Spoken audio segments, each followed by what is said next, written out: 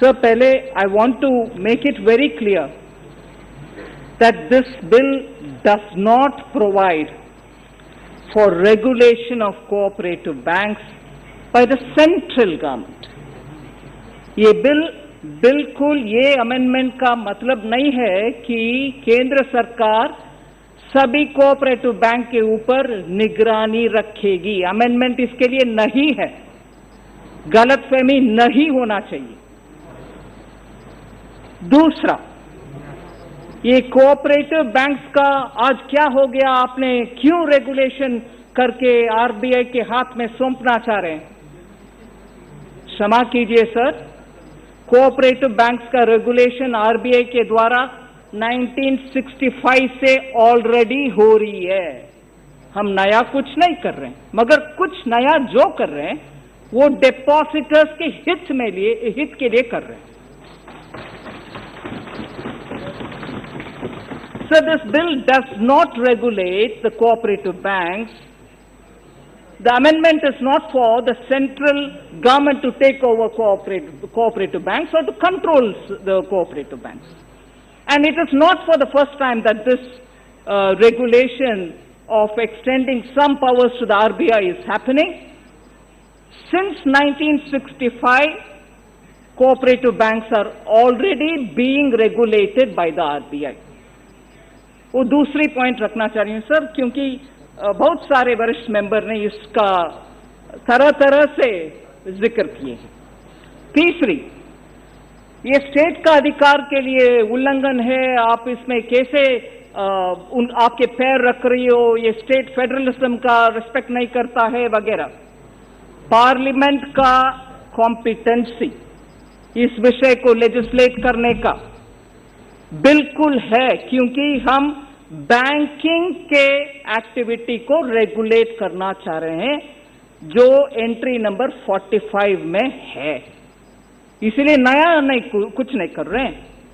हमारे पावर के अंदर जो है बैंकिंग का रेगुलेट करने के लिए उसी को तो उपयोग उपयोग कर रहे हैं। फिर 43 एंट्री 43 से central government I mean central list में रेगुलेशन ऑफ़ बैंकिंग इसको मैं इसीलिए ज़िक्र कर रही हूँ 45 के अंदर भी और 43 के अंदर भी। बैंकिंग और रेगुलेशन ऑफ़ बैंकिंग का पावर्स डेफिनेटली सेंट्रल लिस्ट में है। हम कोई स्टेट लिस्ट के ऊपर we are not encroaching we are not entering हाँ हाँ thank you you should have the patience to listen to people who are answering your question हाँ हाँ थोड़ा प्रोफेसर साहब, सुनने का भी आदत सबको होना चाहिए। फिर, ये, अभी हम सर, स्पीकर सर आपके द्वारा मैं ये सबमिट करना चाह रही हूँ। बार बार ऑर्डिनेंस के ऊपर बात हो रही है ऑर्डिनेंस के ऊपर चर्चा हो रही है। अब हम बिल के ऊपर चर्चा करने के लिए आपके अनुमति मांगे हैं। बिल पेश हुआ है। ये बिल पेश होने के बाद वो ऑर्डिनेंस नहीं, ये नया बिल एक्ट के रूप में आएगा। इसीलिए चर्चा ये बिल के ऊपर ही है। कोई ऑर्डिनेंस के पॉइंट ऑफ़ व्यू लेके आना इन एडिशन हो सकता है, मगर अभी चर्चा बिल के ऊपर।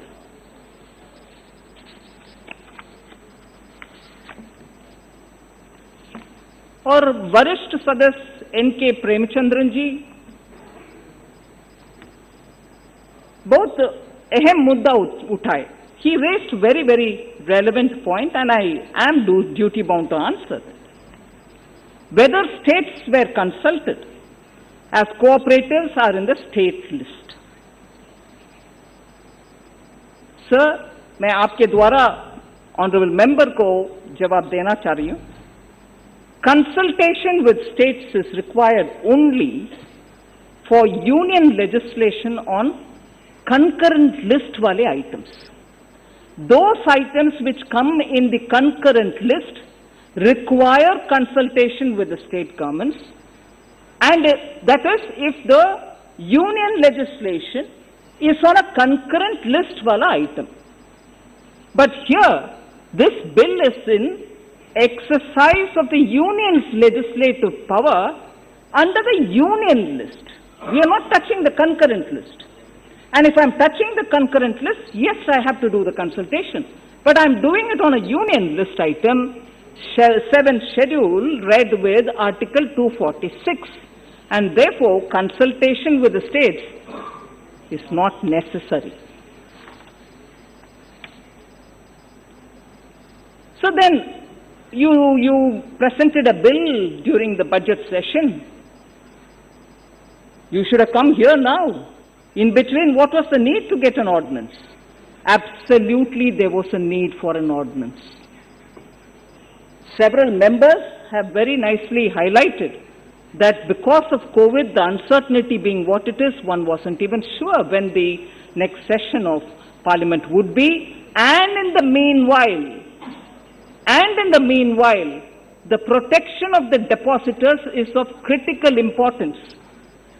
And I'm sure many of the well-meaning honorable members who contacted me or the MOS about the depositors who are suffering in many of these cooperative banks, I myself have received the representation from the Guru Raghavendra Cooperative uh, Bank in Bengaluru, the place where I live in Bengaluru, the constituency member of parliament, my member of parliament, my representative member of parliament, uh, Tejasvi Surya spoke very well, clearly explaining what is the difference. He and I have received representation from depositors in Guru Raghavendra, for who also, like the PMC Bank, till today there's no solution given. They're trying and trying and trying. And so was the PMC uh, members, Punjab Maharashtra Cooperative Bank members who met me in Maharashtra, in Mumbai, and several times after that, several eminent members, Supriya Suleji is one of them, who have really, uh, with a very heavy heart, come to say, can you not get something done quickly? Even today she has given a very heartfelt appeal. We don't want such things to happen, hurting the depositors. And we want to make sure that there is some kind of a provision with which the RBI can do it. And here, much before I go into the details, I'd like to recall, because many of the members have duly said, cooperative ka role is desh mein mahatvapurna hai, they have done excellent work, we cannot undermine them. I'm fully with you. We cannot undermine and we don't want to undermine. We certainly want to support the cooperative movement. But if the cooperatives are doing banking function, several eminent committees have said there is a need to regulate them. And there is a need to regulate them so that it is much more professionally run. And professionally, if the depositors are handled, and again, I'm sorry to refer to one member so many times, the clarity about why a cooperative bank's uh, deposit collection when it goes out outside of its members has got to be brought in through the regulation has been explained by so many members. And therefore, it is not as if we have forgotten the success story of the cooperative movement. हम याद रख रहे हैं कि cooperative movement का इस देश में क्या रोल है रूरल एरियाज़ में उनके कैसे भागीदारी है रूरल डेवलपमेंट में ये सब याद है उनको अंडरमाइन नहीं कर रहे हैं फिर भी एक सच्चाई तो हम सामना करना पड़ेगा। लास्ट टू डिकेड्स में, पिछले दो दशक में 430 cooperative banks have been delicensed and they have gone into liquidation पिछले दो दशक में 430 कोऑपरेटिव बैंक्स उनके लाइसेंस रद्द किया गया है एंड उनका परिसमापन भी हुआ है। अगर कोऑपरेटिव बैंक्स का अहम रोल है, मगर यह भी हम भूल नहीं सकते इतने सारे बैंक, कोऑपरेटिव बैंक, लिक्विडेशन की ओर भी गए इसका विपरीत ऑपोजिट देखिए बैंकिंग में। This is not to say they are not under stress Cooperative banks are under stress. There are some banks who are under stress, private, public, whatever. But not a single commercial bank. इसी कालावधि में दो दशक में not a single commercial bank whose depositors are protected by the banking laws to the full extent of the BR Act has gone into liquidation. ये भी हम भूल नहीं सकते. And therefore, while I acknowledge the important contribution that cooperative banks have done for this country and are still doing, it is necessary in the interest of the depositors and also the bank themselves that we need some banking laws also to extend to the cooperative banking activity. Cooperative society का बाकी कारोबार में हम कुछ नहीं कर रहे हैं सिर्फ इस लिमिटेड परिधि में जो बैंकिंग काम कर रहे हैं उसके लिए ही ये अमेंडमेंट ले आ रहे हैं एंड इसमें I want to add one thing in the 1964 bill which came in, the Banking Laws Amendment Application to Cooperative Society Bill, 1964, I like to quote the line. The deposit, I, am quoting it, the deposits and working funds of cooperative banks are now so large. 1964 में कह रहे हैं. The deposits and the working funds of cooperative banks are now so large that the extension of the more important provisions of the Banking Companies Act 1949 and of certain other allied provisions of the Reserve Bank of India to these banks will be in public interest.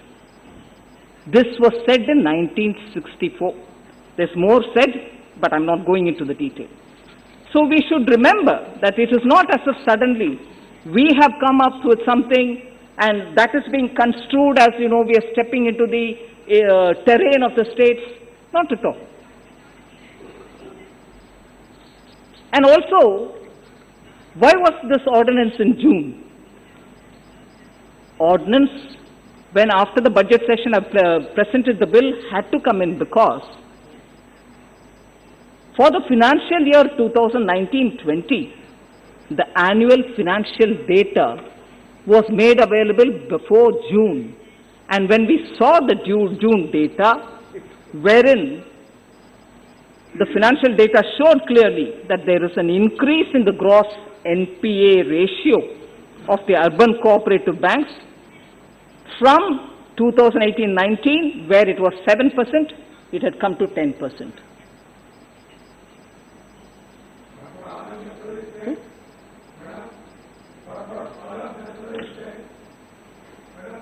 So, the stress, further due to the coronavirus, we were worried that many of the cooperative banks would become fragile. So, we wanted to also make sure that this uh, legislation is brought in. Senior member M.K. Raghavan saying, you are asking us to drop, you are asking these cooperative banks to drop the name bank. We are not asking them to drop their names. They can still continue to have the name bank, but function like a bank, govern like a bank, and be sure that your depositors are not going to suffer like a bank. And therefore, for better governance, we need to have banking regulation coming in.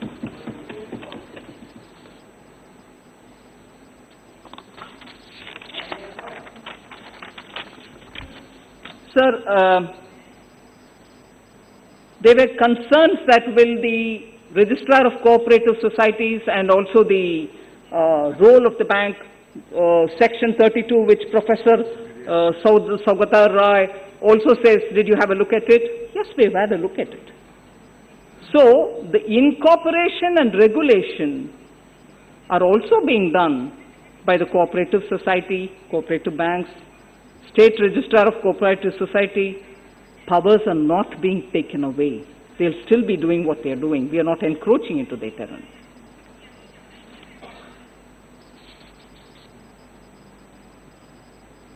So there was a lot of questions. ये पूछा गया कि membership structure को बदलेंगे क्या membership structure को बदल नहीं रहे state cooperative laws define that and it is going to continue like that state cooperative laws are not being touched under this present bill so equal voting right i know a lot of members spoke about it equal voting right for all members based on the principle of one member, one vote remains unaffected. Let me be clear on that. I hope I make it very clear. ये one member, one voting का प्रावधान अभी भी जारी है. We are not touching that.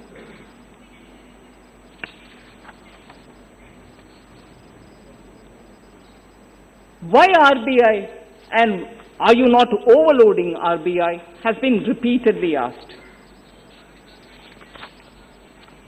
I just want to make sure that we recall, for the benefit of this House, that the preamble of the RBI Act, Section 45L, 1 in bracket, says Reserve Bank of India Act provides for the RBI and recognizes the RBI as a sta- statutory body and it is statutorily constituted to operate and empowered to regulate the credit system of the country to its advantage. So entire country का credit system को regulate करने का authority as per the preamble of the RBI Act is with the RBI. So when we are bringing this bill, our stand is the Registrar of Cooperative Society regulates the cooperative societies as a whole, cooperative societies as a whole, while the RBI shall be regulating the banking activities of the cooperative societies only. So the distinction is very clear.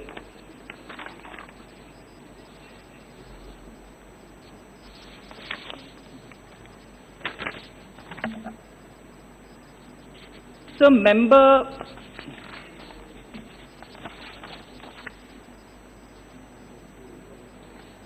Benny Behanan from Kerala raised a lot of uh, questions and said committee, high level committee, and uh, they have all said something and you're going against it. I just want to say that the high powered committee on urban cooperative banks, 1999, which was cha- chaired by a former chief secretary of government of Andhra Pradesh, has very clearly recommended. And of the several recommendations, I want to bring to your notice only three points. Very quickly, the committee, that committee, is of the opinion that the Reserve Bank of India should be vested with such a power. It is therefore recommending that Section 36AA, some members did refer to that, of the Banking Regulation Act, as applicable to the banking companies may also be extended to the urban cooperative banks. That was one observation that committee gave. Again, another observation that committee has given is that it recommends that Section 45 of the Banking Regulation Act should be suitably amended to extend to urban cooperative banks subsections 4, 5 and 6 also all of the provisions of section 45 which is what we are doing now section 45 of the BR Act as are incidental to or connected with the carrying on banking business. So, not suddenly a thought, but something which has been suggested. Sir, there were, there were very many questions. Several members, honorable members, Pinaki Mishra, Jaydev, Galla, have all asked questions. I'll just touch upon one or two of them, but I can probably, given the consideration of time, I'll just highlight one point for each of them. The large exposure framework Jaydev ji had raised, the large exposure framework is issued by RBI in exercise of its regulatory powers. As such, this already applies and does not require any amendment through the bill. So that has to be uh, kind of a clarification given. And uh, there were other points also, but I'm not getting into the details. I may um, write a separate uh, reply to the, uh, to the members of parliament on some specific details. Sunita Duggal, honorable member, raised this question about land mortgage banks. Will it apply to them? Simple. Anywhere where bank is being used, yes, it will apply. Land mortgage banks use the word bank. Therefore, if they retain this word, they will be governed by this act. However, if they do not use the word bank and restrict themselves to their mandate, that is, of long-term agricultural development credit, they will not come under the bill's purview as per the amendments that we have been talking about. Member Nusrat Jahan also spoke about capital requirement. Capital is necessary for safety of banks and the depositors. Unlike cooperative societies that do not do banking, cooperative banking societies need to have capital at least as per the regulatory minimum requirement in order to carry safe banking. And therefore, regulatory capital for banking includes not only share capital, which has a high cost for the bank, but also capital in the form of bonds, which are cheaper for the bank. And therefore, allowing cooperative banks power to issue bonds will only be in the interest of the banks and also for their depositors. Sir, I am almost finished. I just want to add, uh, Dr. Jaykumar felt that the state governments are being treated like tahsildars. Even a tahsildar will not be treated in the way he, honorable member, imagines under Modi government. Everybody will be treated with respect. And the way in which the, me- the member spoke, saying, you're treating the state governments like tahsildars, no, sir.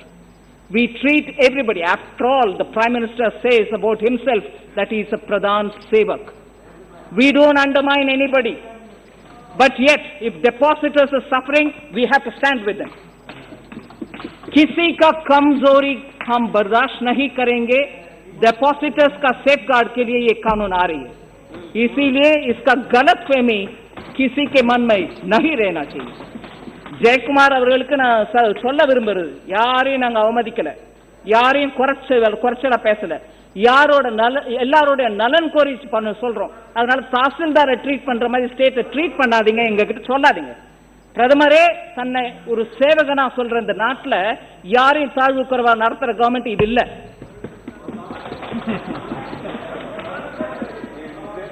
Uh, so finally, therefore, amendment to section 45, amendments to section for 56, amendment to section 3 are all required in the interest of the depositors. I wouldn't want to take more of your time, sir. Thank you very much. And thank you all. इस तरह की खबरें देखने के लिए आप हमारे channel को लाइक करके सब्सक्राइब कीजिए और नोटिफिकेशन बेल ऑन कीजिए धन्यवाद